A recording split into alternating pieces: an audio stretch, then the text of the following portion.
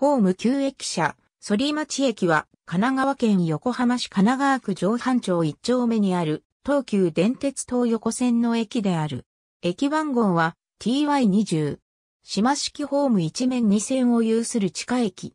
改札街は地上1階、プラットフォームは地下4階にあり、エレベーターエスカレーターで連絡する。ホーム部分は新オーストリアトンネル工法で建設された。地下化当初より、駅施設はホームの重量化を見越した設計となっているが、横浜寄りの2両分は非常用となっており、延長部は柵で封鎖され、ホームドアや壁面の仕上げも省略されている。2004年の地下化までは、相対式ホーム2面2線を有する地上駅だったが、ホームの東白楽よりは高架となっていた。地上駅時代にはトイレが構内にはなく入り口付近に設置されていたが、2004年12月頃に1階改札内に新設された。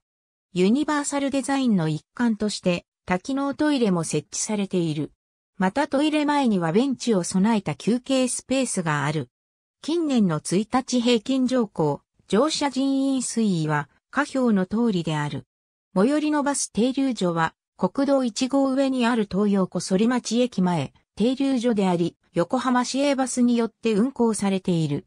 開業時、横浜市青木町あざ反町に所在していたことによる。反町の由来には、諸説あり、団長から転化した説もあれば一旦二旦の半から来る説や、元来この地が数年ごとに休校していたため、休校地のことを反りと呼ぶことから、ソイコール、反町となった説がある。ありがとうございます。